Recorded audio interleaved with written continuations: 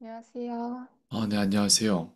아, 혹시 오래 기다리셨나요? 저, 저도 기다리고 있었는데 아니요? 몰랐어요. 이게 뭐가 안내가 안 왔더라고요. 누가 들어왔다는. 아, 어떻게, 어떻게 괜찮아요. 지내셨습니까? 방금 들어왔는데. 아, 그렇군요. 네. 네. 어, 어떻게 지내셨습니까? 어, 네, 괜찮았어요. 네. 알겠습니다. 아, 방금 전에 숙제를 좀 봤어요. 근데 이거 약간 잡아놓고 넘어가면 더 좋을 것 같아서 이거 먼저 다루도록 할게요.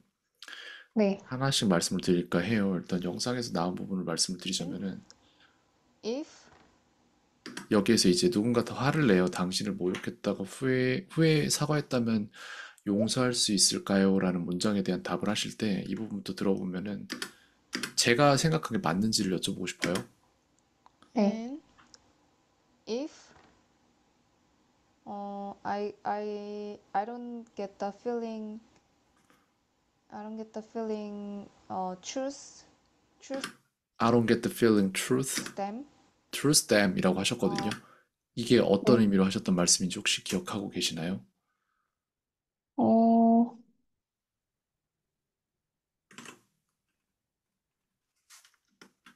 어, 잠시만요. 네. Feeling.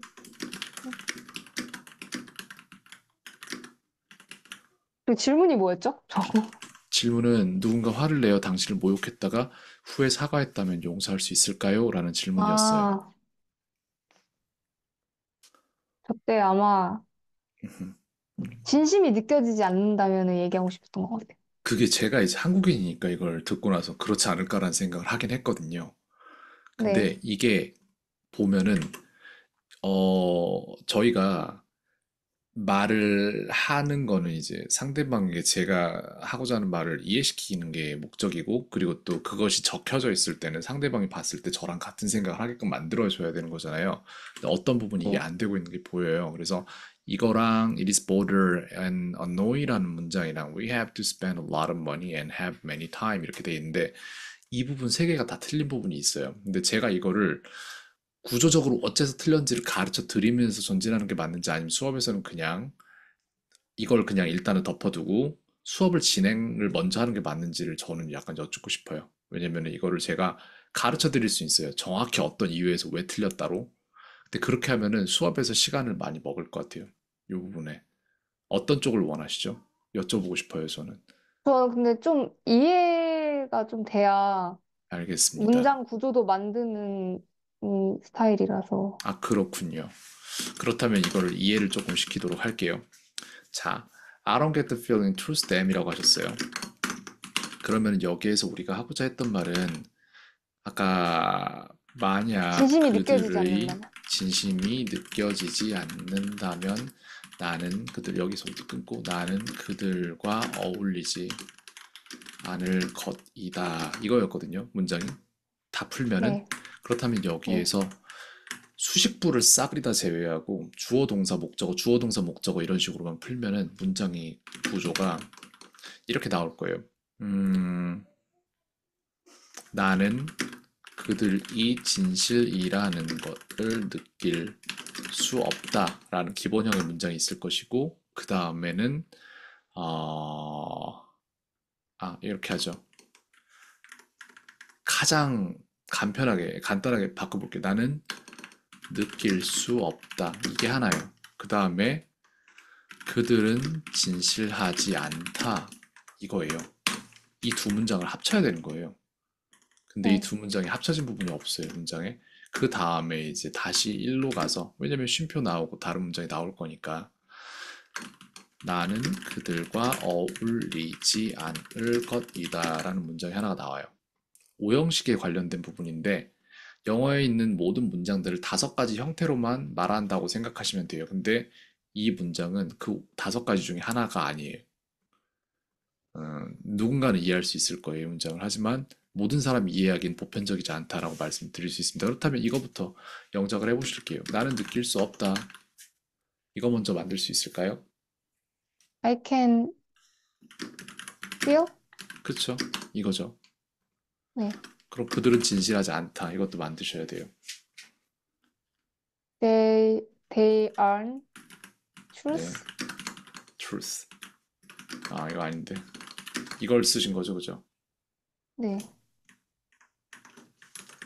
이게 TH 발음이 없었고 truth라고 들려가지고 그게 뭐였지? 군대 용어로 뭐가 있긴 한데 진실, 사실, 진리, 진상, 진심이라고 돼 있거든요. 품사상 이게 네. 명사예요. 그래서 말씀 먼저 드리자면은 아, 일단 하나씩 네. 여기 잡아둘게요. 왜 이게 어때서 틀렸는지. 그러면 이 문장이 만들 능력이 지금은 없으신 거예요. 그럼 그걸 배양을 시켜야죠. 갑시다. 그러면은 이 문장을 그들은 진실하지 않다 이건데 아 오케이 됐다. 이렇게 하고 이걸 갖다가 이렇게 해서 다음 문장을 바르게 고치시오 라는 문장을 만들고 저희는 이걸 잡을 거예요. 그래서 there are truth라고 되어 있는데 이유 먼저 말씀드릴게요. 왜 틀렸는지. truth는 진실이라는 명사이다. 해석하면 그들은 진실 이름이다 라는 거예요. 이 얘기가 뭐냐면은 그들의 이름이 진실이라는 거예요. 왜냐면은 이 거는 비동사를 사용했기 때문에 여기 나오는 truth 명사나 형용사가 주격 보호로서 작동하기 때문에 그렇습니다. 그래서 they equal truth 이게 된다는 거예요. 써드릴게요 다. 네. are 비동사 re 비동사 로 쓰였기 때문에 이는 이 형식 문장이고 they는 truth 라는 동격 관계가 성립된다. 그래서 그래요. 그래서 해석이 저렇게 돼버려요. 네. 그렇다면 여기에서 그들은 진실하다라고 할 때 우리가 여기에 넣어야 되는 품사가 뭔지 아세요? 어, 동, 동사요. 아니죠. 동사는 이미 비동사 여기서 나왔기 때문에 아니고요. 아, 동사를 쓰면요? 그쵸. 그래서 여기에서 나와야 되는 거는 그들의 상태가 진실한 상태라는 말이기 때문에 truth 자리에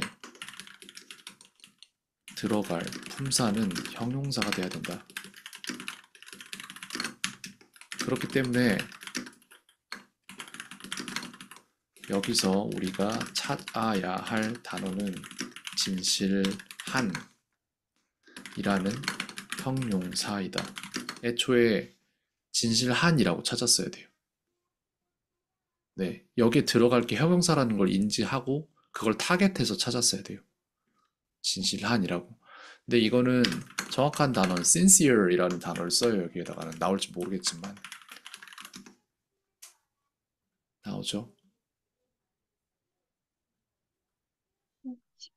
본심에서의 본심을 말하는 이거예요. 그래서 sincere이라는 단어를 써야 돼요. 이거는 형용사예요. 왜? 여기 보면은 뭐뭐한이라고 나와 있죠. 그죠? 네. 뭐뭐의라고 나와 있고 뭐뭐한은 니은 끝에 다 나- 니은 나와 있잖아요. 이게 바로 형용사의 형태예요. 우리나라에서 검색을 할 때 그렇게 네. 해서 5번 진실한은 sincere 어. 어. 그리고 sincere 이렇게 됩니다. sincere이라고 해요. sincere, sincere, 그래서 여기에 들어갈 단어는 sincere이에요. 그래서 truth가 아니라 sincere입니다. 모든 설명이 다 갖춰졌을까요? 네. 이해가 안 되는 부분이 있다면 말씀 주세요. 그 부분에 대해서 조금 더 들어가서 설명해 드리겠습니다. 이해됐어요. 오케이, 좋습니다. 그러면 이게 지금 어, 필요한 부분이 이거예요. They aren't sincere. 오케이. 요렇게 됐고요. 이거에 대한 받아쓰기 문제를 하나 편성을 해둘게요. 거기에 대한 설명은 끝났어요. 자, 그렇다면 이제 다음으로 넘어가서 여기 나는 느낄 수 없다 라는 문장이 있죠. 그렇다면은 저건 맞았어요. 그러면 이제 이 두 개를 합치면은 어떤 문장이 나올까요? 음, 내가 어 내가 그들이 진실하다는 것을 느낄 수 없다면 이 문장을 말하고 싶으신 거였어요. 그죠? 네. 그러면 얘는 어떻게 나올까요? When, 음흠. when I can feel, 네. 어,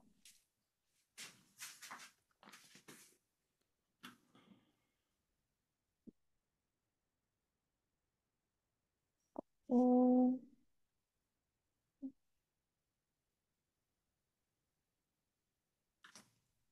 get 그쵸. 이신가요? 뭐뭐하다는 사실을 쓸 거니까 지금부터 저를 이끄는 네. 대신 나오겠죠. They are truth. truth 아니라고 했죠. 아, 어떤 걸로 sincere. 바꿔요? 맞아요. sincere. 이렇게 됩니다. 그래서 when I can't feel that they are truth. 어, 나 저도 그러고 있네요. sincere. 이런 식으로 되는 겁니다. 그래서 여기서 보면 근데 aren't가 아니라 are이 돼야죠, 여기서는. 왜냐면은 그리고 if가 되는 게 나을 것 같아요. If I couldn't feel that they are sincere. 만약 그렇다면은 여기까지 온 거예요. 이만큼이 이제 가정 절로 이렇게 들어온 거예요. 이만큼이. 그 다음에 이제 주절이 다음에 나와야겠죠. 요만큼이 나와줘야 됩니다. 근데 맞아요. 이렇게 하면 돼요. 그래서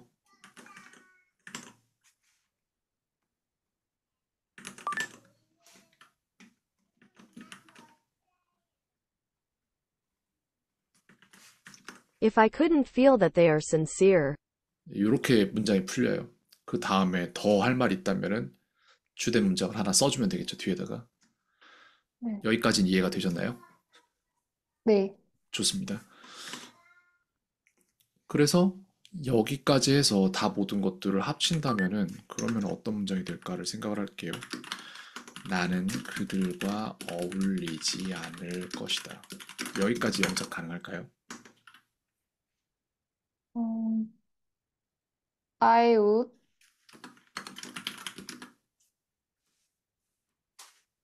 I wouldn't hang out 오케이, with them. 오케이.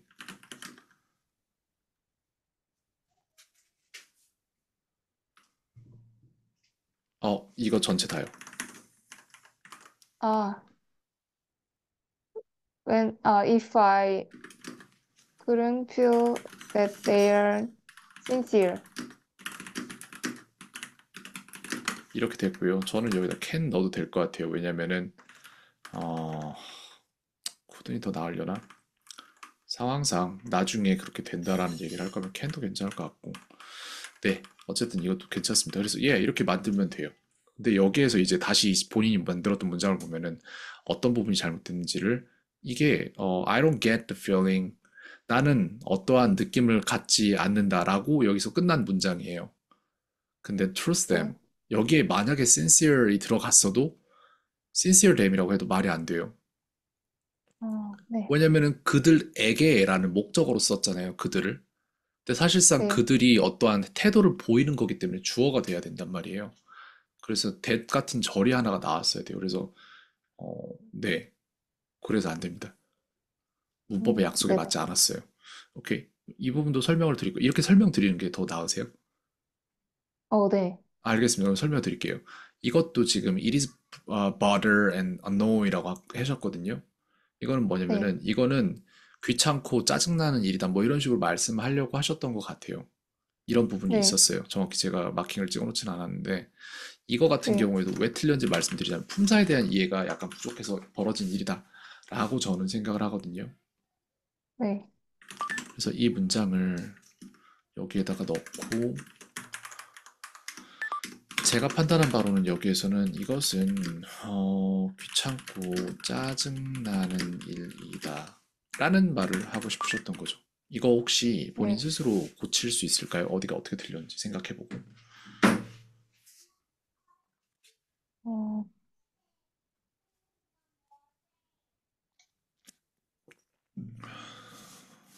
일단 border의 뜻이 뭔지 말씀해 보시겠어요? 이게 뭘까요, 뜻이? 귀찮게 하다. 아하, 그렇죠. annoy는 뭘까요? 짜증나게 하다. 맞아요. 근데 여기에서 보면은 제가 하나씩 여기서 짚어드릴게요, 일단. 네. 어, 비동사 문장이기에 어, it과 과 뒤에 비동사를 기점으로 앞에 나오는 주어와 뒤에 나오는 보어는 동격 관계를 이룬다. 여기까지 이해가 되셨을까요? 네. 네. 해석상으로도 적어 드리자면은 해석상으로는 음, 보어가 명사일 경우엔 경우엔 뭐라고 해야 되지? 주어가 명사이다. 아, 이렇게 하면 되겠다. 해석상으로는 명사이다 내지는 주어는 형용사한 상태이다. 이거예요, 그냥. 근데 거기에 해당이 안 돼요. 음, 보어 자리에 들어갈 수 있는 품사는 명사와 형용사이다. 여기까지 중에 이해 안 되는 부분이 있으신가요? 아니요. 오케이, 좋습니다. 하지만 bother, bother와 annoy는 동사이다. 이게 문제인 거예요. 네. 그래서 우리가 해야 될 일은 음, 누구를 귀찮게 하다가 아닌 귀찮은 을 찾아야 하고 누구를 짜증나게 하다가 아닌 짜증나는 을 찾아야 한다. 구조상 저게 잘못 들어간 거예요. 그래서 그러면 이제 여기까지 들었으면 하실 수 있을까요? 음,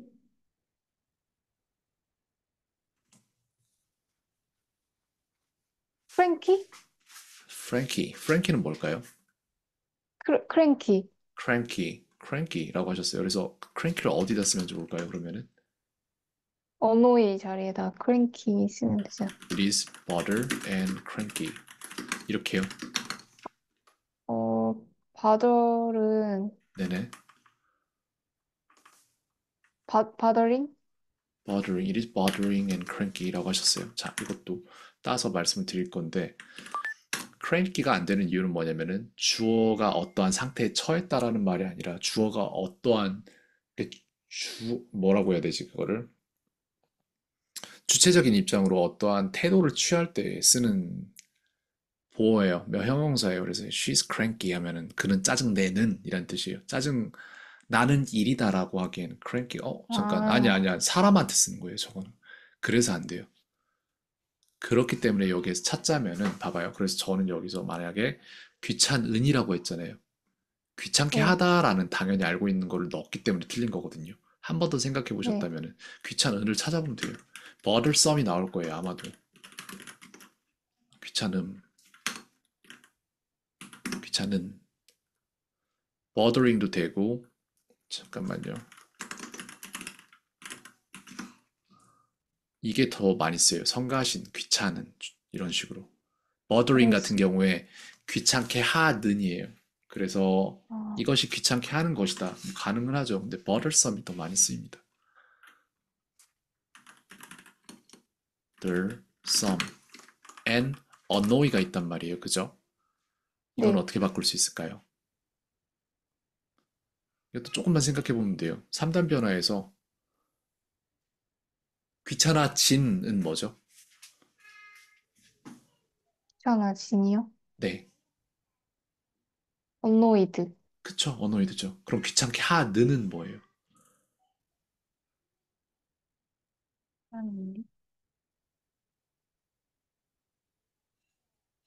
언노인? annoying이죠.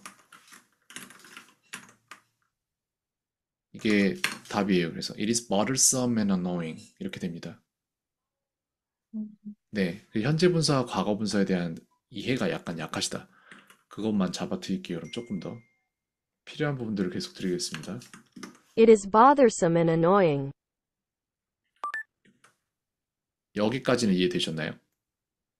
음, 네. 네, 뭘 찾아서 뭘 넣어야 되는지 문제예요. 그거를 제대로 못 넣은 부분이 있었어요. 이렇게 해서 받아쓰기 문제로 넣을게요. 이렇게 하지 않으면 학습이 잘 되지 않아요. 자, 그렇게 됐고, 그러면 이제 cranky가 있었습니다. cranky라는 거를 이용해서 Cranky. 이거는 짜증내는이라는 거예요. 그래서 누가 사람에 많이 써요, 이거는. 아이고.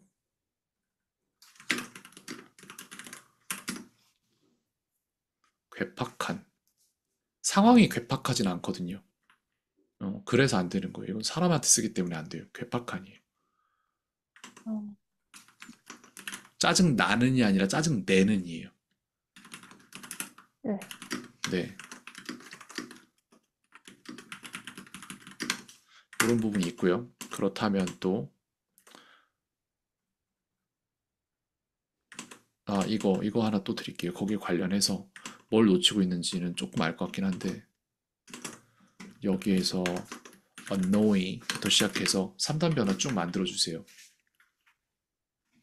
어, annoyed, 오케이. 그 다음은요? annoyed. 그쵸. 똑같이 들어가고. 근데 이제 제가 하나를 덜 할 거예요. annoying을 넣을 거예요. Annoy, annoyed, annoyed, annoying. 이렇게 해서 를 짜증나게 하다. 누구를 짜증나게 했다. 그 다음 짜증나짐이 되겠죠. 그 사람 입장에서 어떤 거니까. 객체로서 당한 거니까. 그 다음 annoying 같은 경우에는 짜증나게 하는. 이게 주체로서의 입장이에요. 이게 객체고. 어, 그래서 네. 문장을 편성을 할게요. 여기에다가 He is annoyed. 이거 무슨 말일까요? He is annoyed. 어, 그는 짜증내, 어? 짜증 내, 짜증 냈다? 짜증 내었다? 아니죠. 낫다죠. 누가 그를 짜증나게 만들었음. 이거예요. 당한 거예요. 이거는 수동태 문장도 될 수 있으니까 단순 형용사도 되지만 그는 짜증 났다예요. 짜증 난다라고 할게요. 왜냐면 우리나라 말에서 이걸 구분을 안 하니까 모르시는 거예요. 언어의 차이 네. 때문에 그래요. 예. 그 다음에 이제 여기에다가 똑같은 걸 넣을 건데 He's annoying 이란 말이에요. 얘는 뭐예요, 그럼? He is annoying. 그가 짜증 나게 했다? 맞아요, 맞아요. 그는 짜증나게, 타인을 짜증나게 하는 사람이다. 귀찮게 하다잖아요, 이게. 그래서 그가 그렇게 네. 하는 사람인 거예요. 네. 근데 한국말에서는 그냥 짜증난다, 짜증난다로 끝나잖아요. 그죠? 영어에서는 안 그래요. 그걸 다 구분을 합니다. 그래서 ing와 ed의 사용법에 대해서 조금 더 잘 알면은 좋으실 것 같아요. 오케이, 여기까지는 이해되셨나요? 네, 오늘 네. 이거. 네, 알겠습니다. 어느 정도라고 하셨으니까 조금 더 들어가 볼게요. annoy, bother, bothering. 어떤 사람이 내게 뭘 하는 게 뭐가 있을까? mind도 있고, 음, 오케이. kind, 아니, 동사로서 찾아야 되는데, 타동사로서 이런 케이스가 뭐가 있을까? 음, oh yeah, 아, motivate. motivate라는 동사가 있어요. 뭔지 알고 계신가요? 아니요. 아, motivate는 motivation, motivation이라고 하잖아요, 저희가. 누구를 동기부여시키다 라는 타동사예요. 그러면은 동사니까 3단 변화 만드실 수 있겠죠? 해보실까요? 음, motivated, 맞아요. 그러면은 3단 변화의 이제 과거 분사는 어떻게 될까요? motivated, 그쵸? 똑같이 되고 그러면은 이제 4단 변화까지 가져가서 현재 분사까지 말씀해 주시겠어요? motivate, motivate, motivating? 맞아요. ting이에요. ing가 들어가요, 여기에서는. 그래서 얘네들이 Motivate, motivated, motivated, motivating. 작동 원리를 아셔야 돼요. 그래야지 속속 뽑아서 편하게 쓰실 수 있어요. 단어 한 개 배워서 여러 개로 쓰실 수 있어요. 어휘가 부족한 게 아니라 이해가 부족한 겁니다. 그게 항상 문제인 거예요. 무엇을 동기부여시켰다가 되겠죠. 다음은요? 뭘까요? 과거 분사는 어떻게 해석되죠? 어, 동기부여시킨? 아니죠. 부여된이죠. 동기부여된? 어, 네. 어려운 것 같아요. 아, 알겠습니다. 그래서 한 번더 네. 하고 있는 거예요. 이게 어려우면 다음 거 또 하시면 돼요. 어, 피해서 갈 수가 없어요. 너무 중요한 부분이라서. 자, 그러면은 motivating은 뭘까요? 어, 동기부여 하는? 맞아요. 이렇게 돼요. 네, 이 차이가 있습니다. 그럼 이제 우린 이걸 갖다가 문장에다 녹여봐야 돼요. 어떻게 실제로 사용되는지. 그러면은 I am motivated부터 시작해서 한번 가볼게요. 이게 뭘까요? I am motivated. 음,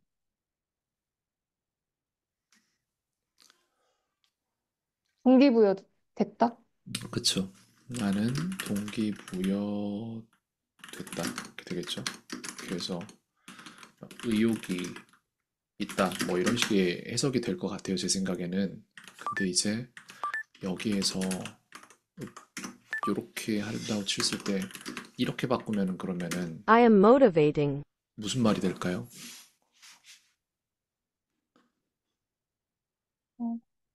내가 동기부여 시켰다? 그쵸. 어, 그런 사람이라는 거예요. 왜냐면 평소 시제니까 언제 하냐? 평소에 그런 사람이야. 이 얘기를 하고 있는 거예요. 그래서 나는 동기부여,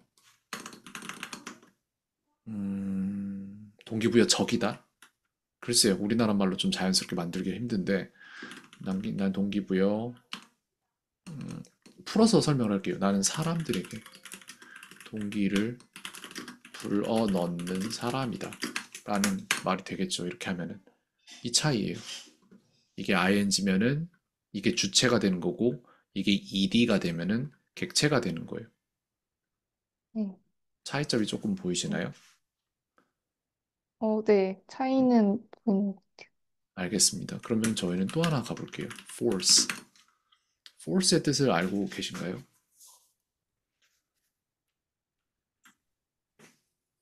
강요? 그쵸. 강요하다? 맞아요. 근데 목적어를 사람으로 받아요. 그래서 누구에게 강요하다가 됩니다. 그러면은 과거 시제부터 사단 변화까지 쭉 가져가 보실까요? forced, 그렇죠. forced, 음, forcing? 음, 맞아요. 이거예요. Force, forced, forced, forcing. 무엇에게 누구에게 어, 강요했다가 될 것이고. 그쵸? 강요. 강요받은 내지는 강요된 받은이 더. 나을 것 같긴 한데 그 다음 forcing은 강요하는이 되겠죠 그죠? 네. 네 이렇게 되는 겁니다 이걸 알면은 마음대로 가지고 놀 수 있어요 이해를 하고 계셔야 돼요 하지만 그렇게 해서 여기에서 아, she is forced 이렇게 하면 뭐가 돼요? She is forced. 음, 강요했다? 어, 아니죠. 강요를 받은 거죠. forced니까. 강요 받았다? 그쵸. she was라고 할게요. 이게 더 낫겠다. 시제를 넣는 게 낫겠네요. 그녀는 강요받았다. 이렇게 되는 거예요. 강요받았다. 근데 이걸 갖다가 약간만 바꾸면은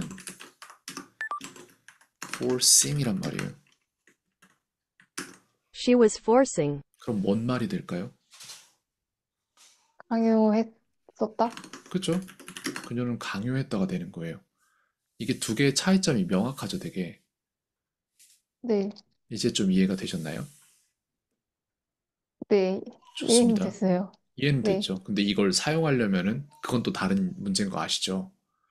네. 그렇기 때문에 지금 배우고 있는 모든 것들이 족적을 남기는 거예요. 영상으로 하나를 남기고 그냥 숙제만 해도 되도록 숙제에도 지금 차곡차곡 다 담아 놓는 겁니다. 네. 숙제에 써놓은 것들 다 보시는 거 다 알고 있어요. 잘 보고 있습니다. 그렇기 때문에 이해가 안 되는 부분들이 차츰차츰 이해가 되는 쪽으로 바뀌어 갈 거예요. 다만 중요한 건 뭐다? 이걸 지금 몰라서 틀린 건 아니거든요. 제가 볼 때. 근데 그냥 이렇게 말하면 될 것 같아. 라는 생각으로 그걸 말을 하시는 거죠. 구성이 약간 약하다. 그럼 즉 저희가 해야 될 것은 그 구성이 강해질 수 있도록 계속해서 강화시킨다. 여기에 하나가 더 있는데 이것도 보고 넘어갈까요? 네. 알겠습니다. 가산 명사 부분에서 틀리신 게 있어요.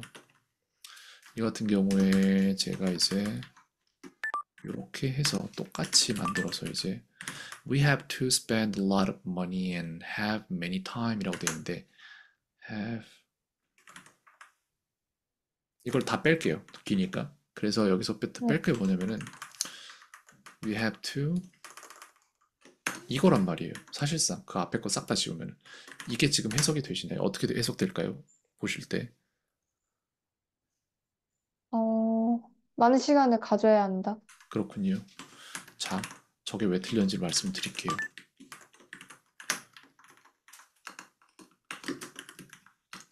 much time입니다. 혹시 아시겠나요? 왜 틀렸는지? We have to have much time. 어, 아니요. 오케이, 좋습니다. time은 셀 수 없는 가산 명, 불가산 명사다. time은 셀 수 없어요. minutes는 셀 수 있고, second는 셀 수 있고, hour은 셀 수 있지만 time은 셀 수가 없어요. 한 개의 시간, 두 개의 시간은 안 되거든요. 네. 네. 그리고 many time이라고 했으면 사실상 s가 들어가야죠. 왜냐면 many니까, 그죠?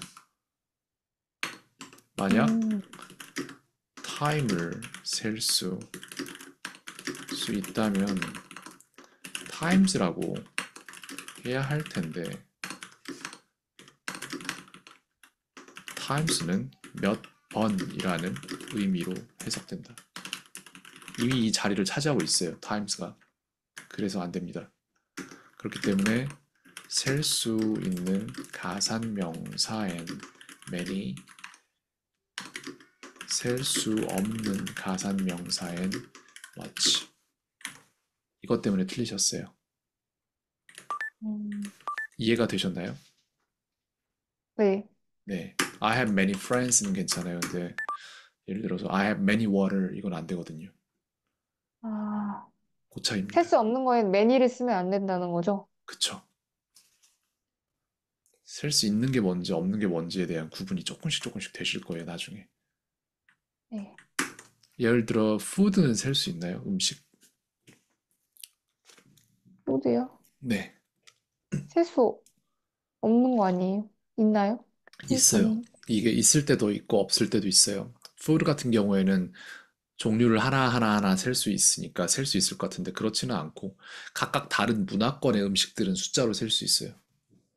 근데 food 자체를 그렇게 세진 않아요. 그래서 우리는 음식이라는 단어를 말할 때 음식이라는 food를 쓰지 않고 이렇게 복, 이렇게 집합하는 그런 명사로 쓰지 않고 우리는 그 대신에 dish라는 어, 음. 명사를 사용을 해요. many dishes 뭐 이런 식으로 말할 수는 있어요. 그 fish도 마찬가지예요. fish 또한 굉장히 작은 물고기들이 모여서 이렇게 떼지어서 다니기도 하기 때문에 fish도 셀 수 없어요. 아, 어, fish라고 할 수도 있는, 그러니까 이게 애매한 게 되게 많아요, 진짜 영어에. 써야 되는 상황에서 어떻게 또 쓰면은 그걸 갖다 뭐라고 할 수는 없는데 사실상 그건 안 되는 거긴 하다 이런 게 좀 있어요, 되게. 아, furniture도 못 써요, 가구도 못 써요. 가구는 왜 못 써요? 저도 모르겠어요, 못 써요. 시험에서 가구 가구 세면은 틀린다고 해요, 그냥. 가구도 못 쓰고 되게 많아요, 그런 게. 음. 그래서 그런 것들에 대해서 좀 약간 나중에 좀 배우시면은 음, 가구는 못 세고 wardrobe 옷장은 셀 수 있죠. 그러니까 가구라는 것은 이 모든 것들을 포함한 개- 그 전체적인 개념이기 때문에 셀 수가 없고 옷장은 셀 수 있어요. 그 물이라고 못 세냐? 그럼 물도 셀 수 있죠. 병에 들었을 때 a bottle of water 이런 식으로 예, 이런 게 되게 좀 까다로워요, 영어가. 관사, 양사 뭐 이런 것들. 네, 여기까지 해서 틀린 부분에 대한 설명은 다 드렸어요. 네. 그리고 지금 당장엔 모르겠다고 하셔도 그래도 숙제에다 다 족적을 남겨놨으니까 보시면은 이해가 속속 되실 겁니다, 아마. 근데 네. 이거를 알고 있는 것과 그거를 뱉어낼 능력을 배양하는 것은 또 다른 문제라는 거 네. 그러면은 또 질문 있는 부분이나 이런 거 있으십니까? 혹시 이거 모르겠다, 저거 모르겠다, 음. 이건 뭐죠? 뭐 이런 것들.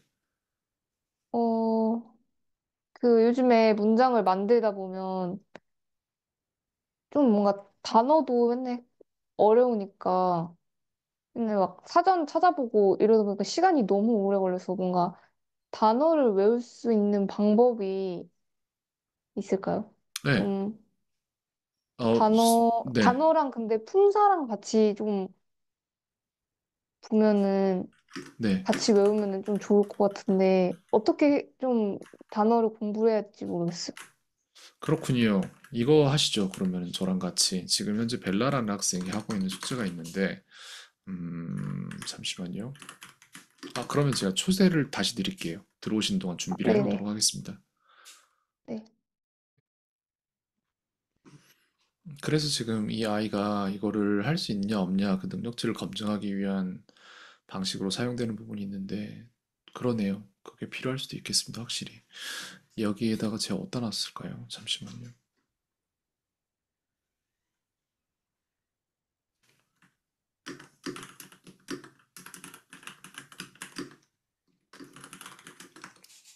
여기에서 29일자 이거구나. 이걸 열어야겠다. 이 파일이에요. 이 파일을 가지고 영작을 시키고 있는데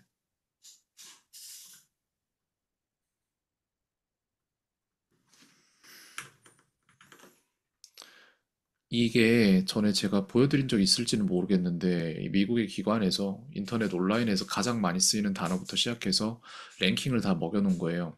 그렇기 때문에 1번에 나오는 더 같은 경우에는 막 5천만 번 사용되고 막 이런 거거든요. 내려갈수록 빈도가 적어져요.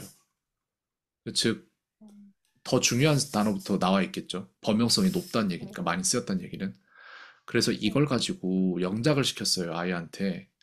근데 아이가 동사 이게 어 왜 없지? 품사가 없네. 아이고 이것도 고쳐야겠다. 여기에다가 아이 숙제를 어떻게 주고 있냐면은 동사 있는지 없는지가 판단이 안 되는 거예요. 스스로 문장을 영작을 해놓고 그 부분 적고 그 다음에 이것의 품사가 무엇인지도 적고 거기에다가 육하 원칙 중에 하나를 포함해서 영작을 또 시키고 이런 식으로 하고 있거든요. 이걸 시켜보면 아이가 뭘 모르는지가 정확히 나와요. 그래서 저희가 이걸 한번 볼게요. 어, 제 인터넷이 약간 안 좋다고 나오는데 괜찮으세요? 어, 조금 안 좋은 것 같긴. 아, 그래요? 네, 들리긴 들려요. 네. 아, 네네네. 안 좋아지면은 바로 멈추고 말씀 주세요. 그러면 잠깐, 네. 예. do를 이용해서 영작을 아무거나 해보세요. 그럼 여기서부터 한번 시작을 해보죠. 아무 말이나 하시면 돼요. do를 이용한. do가 들어간 문장을 만, 어, do를 뭘로 정의하실 건가요? 얘는 지금 그렇다면 동사가 있다 없다가 아니라 일반 동사. 잠시만요. 어, 이걸 이렇게 하자. 품사. 품사가 뭔지를 써야 돼요. 품사로 하고 일반 동사. 이것만 합시다. 자, 투의 품사는 뭐예요? 전치사요. 어, 예, 잘하셨어요. 전치사. 그렇다면 그걸 전치사로 이용한 문장을 하나 아무거나 만들어 보세요. I go to work. 네. 한국어 뜻은요? 나는 회사에 간다. 그 일하러 간다. 맞죠? 똑같은 일하러 얘기예요. 간다. 네, 맞아요. 잘하셨어요. 이렇게 하면 돼요. 그럼 얘는 지금 일반 동사 문장이에요? 비동사 문장이에요?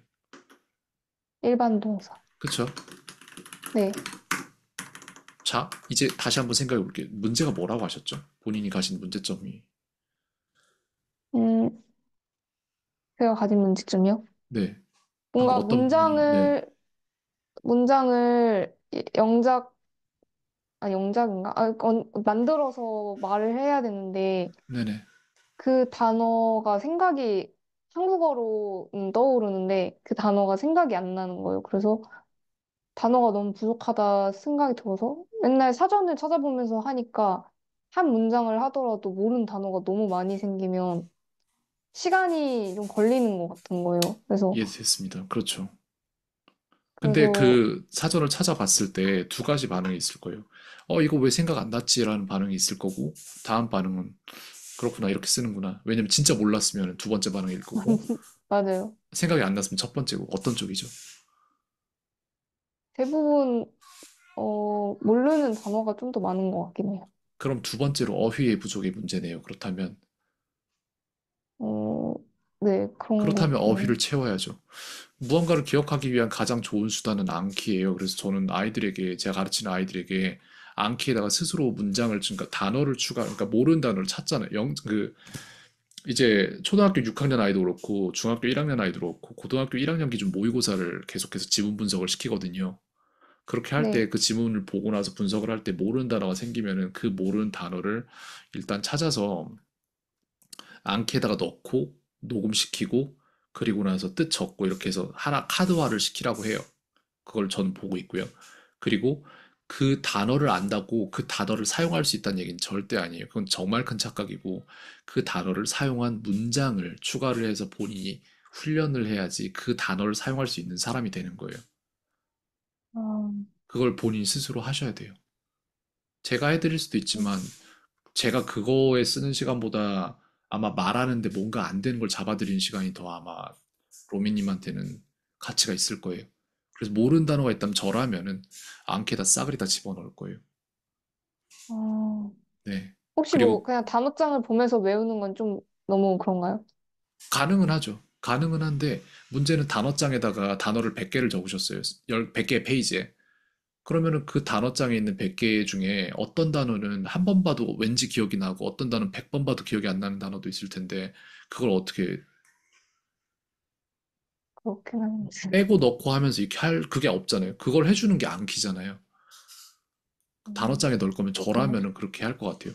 핸드폰을 혹시 아이폰을 쓰시나요? 아니요? 어, 그럼 갤럭시 좋네요. 쓰고 있어요. 왜냐면 갤럭시 쓰고 계시면 갤럭시 핸드폰엔 공짜예요, 암기가. 핸드폰으로 하셔도 돼요. 어, 네, 굳이 숙제 네. 영상에다가 영상 안 남긴다고 제가 뭐라고 안 하니까 평소에 이렇게 갖고 다니면서 이렇게 핸드폰으로 하시면은 컴퓨터에 있는 거랑 연동이 돼요, 두 개가 다. 아, 네네. 핸드폰에서 하면은 컴퓨터로 나중에 안 하셔도 되고 이렇게 됩니다. 그래서 시간 있을 때 그렇게 툭툭툭툭 넘기면서 이렇게 하시면 좋을 것 같아요. 그래서 예를 들어서 오늘 몰랐던 단어가 뭐가 있을까요, 그러면은? 오늘 몰랐던 단어요? 아까 지금요? 보들섬, 예, 보들섬 모르셨잖아요. 아, 네, 그죠? 네, 네. 보들섬을 넣는단 말이에요. 그러면 이걸 찾아서 보들섬이라고 넣으면 이렇게 나오죠. 성가신 귀찮은 주체스러운 이렇게 나온단 말이에요. 잠시만요. 이거 지금 나라면 어떻게 할까? 나라면 단어 공부를 어떻게 할까라는 부분을 9시 16분에서 이렇게 할 거예요. 영상 나중에 보시면 여기서부터 설명을 보시면 될 것 같아요. 자, 저라면은 버들썸을 몰랐어요. 성가신 귀찮은 주체스러운이구나 라는 걸 알았는데 그렇다고 내가 정말 이 단어의 사용을 아느냐? 그럼 그렇진 않아요. 저는 유글시닷컴에 가서 버들썸을 보고 실제 사용 예를 볼게요. 294건이 cleared up a 나왔어요. bothersome clutters라고 되어 있는데 bothersom이 clutters의 형용사로서 사용이 됐어요. 그래서 아 그렇구나 명사에 대한 형용사로서 사용이 바로 가능하구나라는 캐치가 됐거든요. 저는 This statistic bothersome to me라고 해서 형용사로서 이것도 쓰였고 물론 보호로 쓰인 건데 it에 대한 보호로 쓰였고 이런 식으로 좀 보고 나서 그 다음에 할 거는 이제 GPT나 이런 데 가서 적에서 문장을 긁을 수도 있어요. 내가 진짜 쓰고 싶은 문장이랑 맞아 떨어지는 게 often used to 있느냐 이런 식으로 할 수도 있죠. Bothersome thing이라고 해서 이걸 주어로 잡을 수도 있단 말이에요. 그래서 어쨌든 저는 챗 GPT에다가 bothersome을 이용한 짧고 쉬운 문장을 만들고 문장들을 만들고 만들고 한국어 해석도 함께 주세요 라고 요청을 해서 bothersome이 들어간 문장들을 볼게요. 방금 전에 유글리시닷컴에서 봤을 때는 약간 뭔가 이해가 안 되는 부분도 있을 수 있잖아요, 당연히. 네. 회화적인 부분이니까. 그렇다면 이제 이걸 갖다가 글로 써볼게요. 귀에 짜, 끼어들면 짜증나는 파, 이 지금 여기에 나와 있는 예문 중에 실제적으로 내가 언젠가 사용할 수도 있다는 그러한 생각이 드는 문장이 있나요? 하나라도? 어, 저는 여기에 아마도 무슨- 3번 내지는 4번? 3번? 네, 4번도 3번, 괜찮아요. 4번. 왜냐면은 저번에 돈가스 얘기 하셨을 때 줄 서는 거 싫어한다고 하셨잖아요. 네, 4번은 되게 인류 보편적인 부분인 것 같고 그래서 이거를 갖다가 최대한 더 짧게 만들어서 저는 이렇게 할 거예요. 문장을 공부하지 않으면 단어를 사용할 수가 없어요. 사람들이 다 모르고 있는데 네. 뇌는 그렇게 작동하지 않습니다. The bothersome itch. 이거 모르시죠? itch. 네. 간지러움이라는 명사예요. Mosquito bite kept me up all night. kept someone up. 이건 수거예요, 하나의. 누구를 잠 못 들게 하다라는. 이 음. up이 서다라는 뜻인데 그렇게 됩니다. 그래서 이거 전체를 갖다가 문장 하나로 The bothersome itch from the mosquito bite kept me up all night. 이 문장을 외우신다면은 그럼 이 안에 들어있는 모든 것들을 다 흡수하실 수 있을 거예요. 그렇게 해야 돼요. 단어라는 거는 그냥 음식인데 어, 문장은 냉장고예요. 그래서 음식을 그냥 두면은 상하잖아요. 잊어먹어요, 결국. 근데 문장으로 두면은 안 상해요. 저는 여기까지 하라고 하거든요, 학생들한테. 문장까지 네. 넣으라고. 네. 혹시 이 문장은 이해가 되셨나요? 어떻게 돌아가는 문장인지. 그 문제, 문장 구조, 그냥 이렇게 문장을 외우면 그게 제가 나중에 써먹을 때 떠오를 수 있을까요? 그럴 수 있어요. 그러니까 실제 적용을 할 수 상황에서. 있나요? 네. 네. 제가 전에 수업 시작 전인가 말씀드렸던 부분 중에 하나가 뭐냐면 어떤 문장을 실제 상황이라고 판단되는 그런 상황, 그러니까 즉 암기도 마찬가지예요. 본인이 그렇게 한다면 열 번 말하면은 그러면은 공부했던 기억만 남아요. 아, 나 이거 전에 언제 했었는데 열 번 말하면 그렇게 되고 20번 말하면은 그러면 틀리지만 사용할 수 있어요. 30번 말하면은 맞지만 버벅거리고 40번 말하면은 반사 신경처럼 그냥 툭 치면 나가요. 상황에서. Is it possible 네. for me to call you later? 뭐 이런 식으로 하면 그런 문장이 저도 영어가 안 되던 시점에 가능해졌거든요. 40번 정도 말했을 때가. 그 다음에 50번 네. 말하면은 그것과 비슷한 문장 구조에 대한 이해 전체가 잡혀버리기 때문에 맞아요. 되긴 돼요. 근데 그거를 본인이 이제 무의식적으로 나 상당히 많이 했는데 안 되네 라고 생각할 수도 있지만 그런 일은 일어날 수 없죠. 왜냐면은 여기에 보면은 이걸 일단 넣어드릴게요. 여기에 보면은 탐색에서 이런 것들 보면은 아 이건 아니고 글쎄 이런 것들을 볼까요?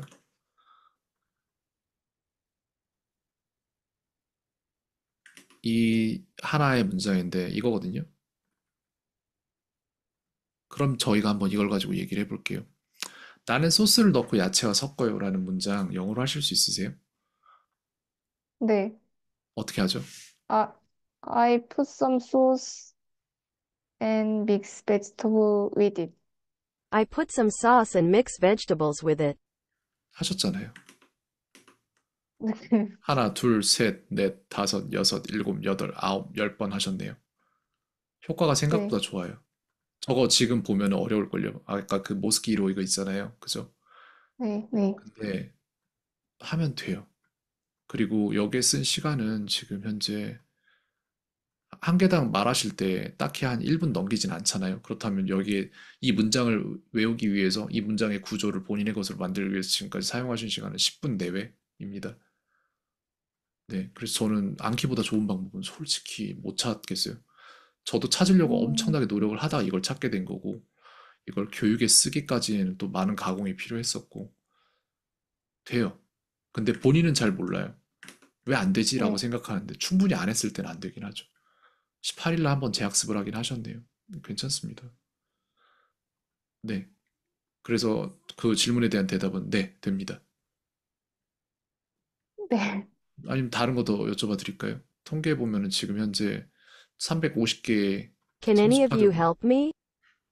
문장들을 가지고 계시거든요. 이거 다 될걸요? 아무거나 물어봐도. 아무거나 물어봐도 다 되실걸요? 아마 지금 머릿속에 다 들어갔을걸요? 네. 또 다른 부분 궁금하신 거나 이런 게 있을까요? 일단은 어휘가 제일 힘들어서 그렇지. 네네. 그 외에는 그래도 할 만해요. 그렇군요. 그렇다면 여기에서 지금 예를 들어서 지금 만들어 놨던 것들이 The bothersome itch from the mosquito bite kept me all night 이라는 문장인데 여기에서 지금 새로 배운 단어들은 몇 개나 있을까요? itch가 있을 수도 있고 어, 네, 그쵸? 네.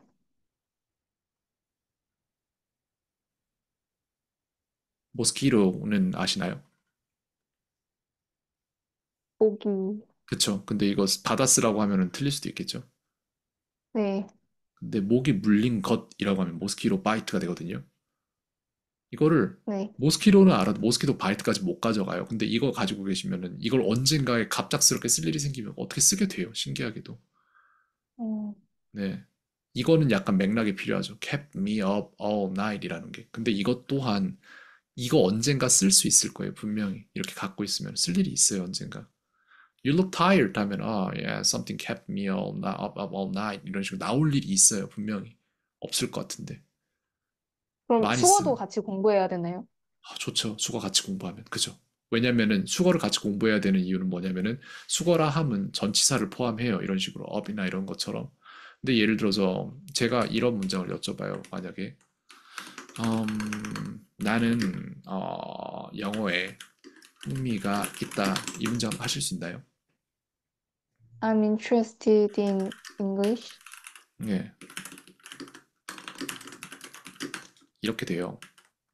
I am interested in English. 이게 여기 인이 들어간다는 거에 대한 어떠한 것도 없어요. 여기 인이 들어가야 되는 이유는 원어민들한테 얘기해도 몰라요. 그 사람들도.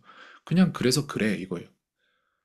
네. 사람이 숨을 왜 쉬어야 돼? 라고 물어보면 안 쉬면 죽어. 그왜 죽어? 그렇게 물어보면 할 말이 없거든. 1 더하기 1이 2인 이유를 설명을 못 하잖아요. 그냥 이건 네. 암기 과목인 거예요. 그래서 그쵸? 그래서 다 외워야 돼요, 진짜로. 어, 네. 이런 것들. 그러면 잠깐만 요청하세요. 저 제가 뭘 해드리면 될까요? 수거 정리를 한번 해드려요. 어, 어, 뭔가 외울 수 있는 단어를 만들어 네. 주시면 제가 외울게요. 그럼 이거부터 시작하셔야죠. 이거. 않게요? 아니요. 아, 그거요. 5천 개. 예를 들어 100까지 갔을 때는 아신단 말이에요. 월드 아시잖아요. 그죠? 네. 500 가면 article 아세요? 아니요. 그럼 여기 어딘가에 지금 정체돼 계신 거예요. 근데 또 그렇다고 아니냐 그러면은 여기 certain 아세요? 특정한? 어, 네, 맞아요. 근데 이게 가면 갈수록 점점 어려운 단어들이 나와요. 네. treatment. 근데 점점 가면 이제 몇천 번대 가면 이렇게 가면 점점 어려워요. 5천 번 안에서 본인이 모르는 단어가 있는 편이라면은 이거 먼저 하셔야 돼요. 이 파일 드릴게요. 그러면 이거 숙제 편성을 하도록 하겠습니다. 그러면은 일단 지금 말하기 숙제 쪽을 약간 내려놓고 영작 숙제 쪽으로 가서 어, 그쪽으로 가서 시간을 좀 더 쓰시면 좋을 것 같아요. 숙제 편성을 약간 바꿀게요. 그럼 제가 어휘 먼저 챙기죠. 네. 네. 어휘가 부족, 수거가 부족. 음, 영작 숙제 다시 어, 편성하고 스피치 숙제 줄일 것. 이렇게 하면 될까요? 숙제를? 네. 네, 알겠습니다. 그럼 이거는 제가 생각해보고 안내를 드리도록 할게요. 오케이, 또 다른 부분들 제가 뭘 좀 도와드려야 되거나 제가 알아야 되거나 이런 것들이 있을까요? 아니, 일단은 생각나는 건 오케이, 그럼 여기를 좀 더 해보실게요. that. that을 가지고 영작을 해봅시다. 아무 문장이나 괜찮습니다. that은 품사가 어떻게 어. 될까요? 대시요. 네, 대, 대, 대시 뭐지? 오, 대명사인가? 의문사인가요? 네, 의문사, 의문사인가요? 아닌데, 의문사요. 의문사면은 5W1H인데 거기 which까지는 들어가도 that은 안 들어가요. 관계대명사? 관계대명사? 관계대명사로 사용될 수 있죠. 하지만 팔품사인 8개에는 포함되지 않죠. 팔품사가 뭔지 알고 계신가요? 네, 명사, 동사, 네. 형용사, 전, 근데 이게 구분이 다 안 되는 애들도 있어요. 막 유도부사 뭐 이런 애들 나오면 부사는 부사인데 뭐 글쎄 뭐 음 뭐 이렇게 되는 거죠. 근데 얘는 명사 역할을 할 수 있잖아요. 그리고 that이라는 거는 어떠한 것을 대신해서 명사 역할을 할 수 있기 때문에 저는 대명사라고 보거든요. 볼게요. 품사가 뭘까?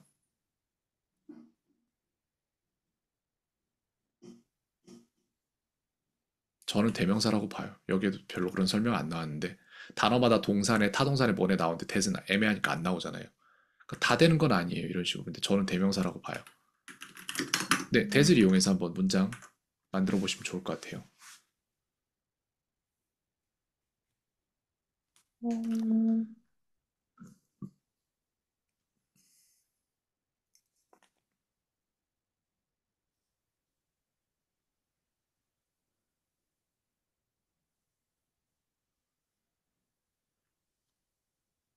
음...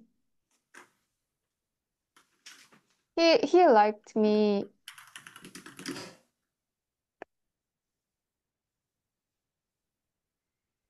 아, 아, 아, he knows that I like 뭐, He knows that. 그 다음에 뭐였죠? I like him. 오케이? 이거 돼요. 되죠?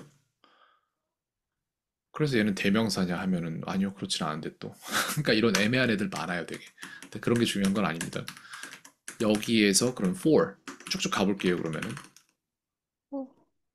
아니요 모르는 단어를 한번 걸러 그 저희 찾아보죠 그러면. 모르는 단어가 있으면은.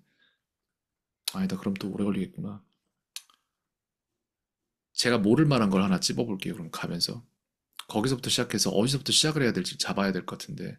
there 이거 뭐죠? 그래. 그죠?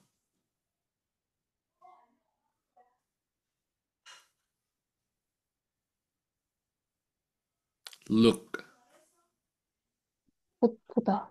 어 틀렸죠 look은 뜻이 어떻게 보이다라는 이형식 동사예요 보이다. look을 이용한 그런 품사는 뭐죠? look에 잠시만요 이게 아, 엑셀이 아니라서 음, 음, 아 잠시만요 freeze가 안 되네. 어쨌든 그냥 갑니다. look이었죠. 네. 어떻게 보이다라는 동사예요. 그래서 이런 걸로 영작을 하고 틀리면 제가 잡아드려야 될 것 같아요. 그렇다면 look을 이용한 영작 한 번만 해볼까요?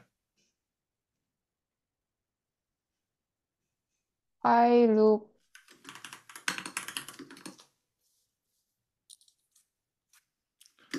어, a lot of cloud. 오케이.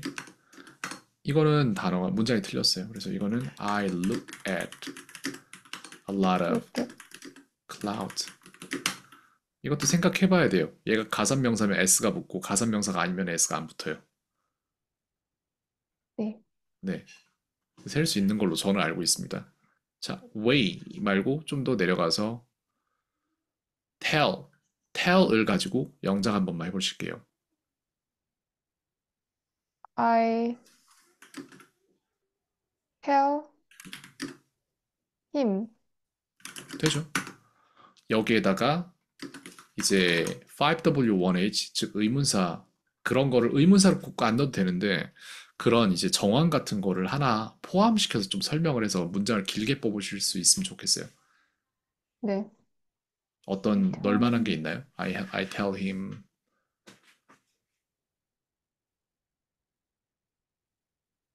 Where where I go to? To까지 안 넣고 go만 해도 됩니다. 예, 맞아요. 잘하셨어요. Yeah, I tell him where I go. 무슨 뜻이죠? 내가 어, 내가 가는 음. 어? 해석이 네. I tell him 음흠. 얘기 말했다. 내가 가는데 가는데 가자고 말했다. 아, 아, 그럼 틀렸네요. 이렇게 할 거면은 I tell him to go with me 이렇게 되겠죠. 나를 따라오라고 말했다. 같이 가자고 말했다. 이런 식으로 만들 거면. 네, 이렇게 하는 게 맞을 것 같아요. 음, 그렇군요.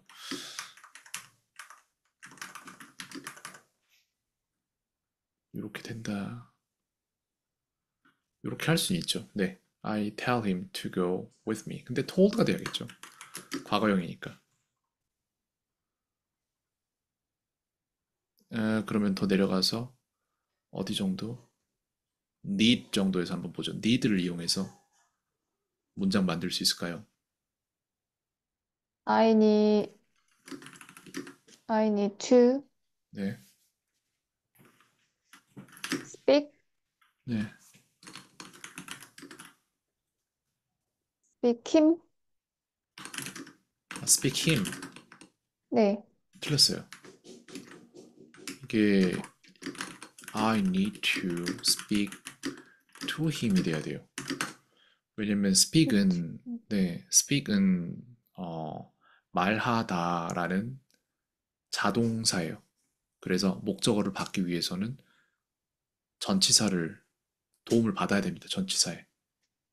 음, 좋습니다. 괜찮아요. 지금까지는 이제 스피킹 부분에서 말하기를 하시다가 이런 부분들이 발견되면 저는 거기에 대한 숙제를 편성을 했던 거잖아요. 근데 그거를 쓰는 걸로 조금 바꾸면은 아마 본인도 영작을 하면서 약간 검증이 될 거예요. 어, 내가 이걸 못했구나. 해- 이제 말할 때는 빨리빨리 해야 되니까 머릿속에서 계산을 다 못하고 말하는데 써보면은 어, 이게 맞나? 이게 되게 중요하거든요. 이게 맞나? 음. 그리고 이게 맞아. 내지는 이게 아니야. 라는 걸 누군가는 말을 해줘야죠. 그 부분을 해서 숙제 편성까지 해드리면 좋을 것 같습니다. 모르는 단어가 있다면 어, 스스로 하셔도 되고요. 저한테 뭘 몰랐다고 말씀 주셔도 될 것 같아요. 네. 대신에 제가 그거 하느라고 이걸 숙제 편성을 해드려야 될 시간을 잃을 수는 있겠죠. 그만큼은. 아, 네네. 근데 어쨌든 하면서 맞춰가면 됩니다. 뭘 해드려야 될지는 알겠어요. 또 다른 부분이 있습니까? 내가 이걸 해야 될 것 같다 내지는 이걸 잘 모르겠다 이런 부분들. 해석하는 거? 해석이 잘 안 뭔가 되신다. 예, 문장 좀 잘 안 되는 것 같긴 해요. 알겠습니다. 해석하는 게 잘 안 된다라는 것도 적어 놓고 생각을 해볼 건데 해석이 잘 안 된다. 근데 이 해석이라는 건 정확히 어디에서 뭘 했을 때 말씀이시죠? 스피치에서 영어로 적힌 부분 말씀이신가요? 어, 스피치는 그냥 사실 어떤 구조나 이런 거 생각 없이 그냥 막 뱉다 보니까 네. 제가 틀린지를 잘 모르긴 하는데 네, 맞아요. 저도 그렇게 생각했어요, 방금 가끔 전에. 문장이 쓰여진 문장을 볼 때 이게 이렇게 해석을 하는 건가? 약간 이런 의문이 들 때가 좀 많은 것 같아요. 그 문장 어디서 마지막에 보셨죠? 어떤 문장을 보셨을지 제가 알아야 될 것 같아서. 어, 아, 뭐 그냥 뭐 영어로 쓰여진 문장들 카페나 이런 데요. 아니면은 뭐 어, 드라마나 뭐 이런 거 보다가도 아하. 그냥 한번 혼자 해보려고 해도 사실 이게 뭔가 딱 보면은 제가 생각한 내용이랑 너무 달라요. 어떤 드라마 보셨죠? 어, 최근에 본 거요. 네, 그쵸. 최근에 영 쉘던인가? 그거 아, 아, 빅뱅 근데- 세오리는, 빅뱅 세오리는 그거 원어민이 봐도 어려워요. 진짜요? 그러라고 만들어진 근데 좀. 어려운 예. 것 같아요. 네. 어, 원어민, 그러니까 저도 똑같은 상황이, 어, 나 이 똑같은 상황이 있었구나. 저도 똑같은 상황이 예전에 원어민들이랑 같이 친구를 친하게 지낼 때, 뭐다 강사들이고, 다 교수들이고 그러니까, 얘기할 때, 아, 이 드라마 보는데 어려워서 자괴감 든다고 얘기했더니, 뭐, 뭐 봤는데 이렇게 물어봐요. 그래서 빅뱅 세오리 봤더니, 야, 그건 나도 어렵다고. 음, 예, 그건 보- 어려워요. 예. 그래서 제가 뭐 여쭤보는 게 뭐냐면은 무엇을 배울 것인가를 정하고 봐야 되는데 프렌즈가 되게 오래된 미드인데도 불구하고 계속해서 추천을 받는 이유가 영어를 배우기에 그렇게 좋은 상황을 이렇게 보여주는 미드가 없어요. 심지어는 이제 맞아요. 모던 모던 패밀리를 얘기를 하는데 모던 패밀리도 막 엄청 좋진 않아요. 그래서 제가 추천드리는 거는 심슨이랑 어 프렌즈가 짱이에요. 예, 진짜로. 심슨을 보시는 게 좋아요. 프렌즈는 근데 이미 한글로 다 봐가지고 더 좋아요. 뭔가 내용을 아니까. 재미, 재미가 없어. 아, 아, 그럼 셸든 봐야죠. 그런 게 있어요. 그래서 저는 심슨이 의외로 진짜 숨은 보석이에요. 심슨이 장난 아니에요. 다 좋아요. 진짜 심슨이. 심슨에서 나오는 표현들이 진짜 드라마틱하지도 않고 실제 상황에서 위트 있게 쓸 수 있는 그런 게 정말 많아요. 심슨이 좋아요. 의외로. 음, 저는 그래서 추. 예, 추천하라고 하면은 뭘 보고 배울까요? 라고 추천하라고 하면 무조건 심슨은 들어가요. 프렌즈랑 심슨이에요. 왜냐면은 모던 패밀리도 뭔가 드라마라는 거에서 사람들에게 어떠한 자극을 주려면은 일상보다 살짝 더 뭔가 느낌 있는 단어들이나 어휘들을 구사를 해야 되잖아요. 네. 근데 그게 그러면 그럴수록 범용성이란 게 떨어져요. 근데 프렌즈는 그걸 음. 안 했고 슬랩스틱 쪽이 그 당시에 더 발달했을 때였기 때문에 일단 상황상 이렇게 그래서 말 자체가 위트는 있지만 너무 오버되진 않은 말들을 어떤 극적인 요소로서 꾸며냈기 때문에 사실상 문장이나 음. 이런 거 사용하기가 프렌즈가 훨씬 좋아요. 거기에 있는 문장들은 실제로 바로 써도 될 문장들이고 심슨도 그렇고. 근데 이제 모던 패밀리만 해도 비슷한 셋업인데 근데 달라요. 그래서 영화 보면서 미드 보면서 영어 배우겠다 하면 저는 약간 글쎄 그게 되는 게 별로 많이 없을 텐데라는 생각은 해요. 쉽지 않아요. 음. 네. 근데 프렌즈랑 심슨은 괜찮아요. 네. 네, 일단 해석이 잘 안 된다. 이 부분. 그, 즉, 드라마 보면서 뭔가 봤는데 내가 이해한 것과 달랐다. 이 얘기네요. 네. 알겠습니다. 드라마에서 쉘던. 쉘던, 쉘든, 쉘든. 네, 알겠습니다. 이거 생각해보고 제가 좀 나중에 따로 다시 드려야 될 것 같아요. 일단은 숙제 원래 하시던 대로 유지를 해- 하시고요. 제가 네. 생각해서 다시 제작하고 디자인하고 말씀드리면서 안내 드릴게요, 그때. 네, 네, 알겠습니다. 알겠습니다. 오늘 뭐 영어를 쓴 적이 없는데, 어, 뭐, 한번 이렇게 잡고 넘어가는 게 맞는 것 같아요. 방향 잡고 살짝 변경해서. 네, 알겠습니다. 계속 생각해 보도록 하겠습니다. 네. 네, 네, 수고하셨습니다. 네, 네, 수고하셨습니다. 네.